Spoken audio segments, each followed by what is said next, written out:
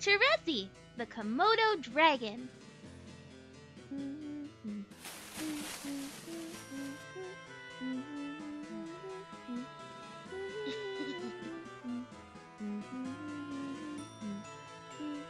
Yow!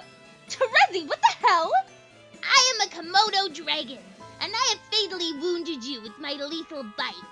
So slowly, starting from now, you are going to die. You need serious help.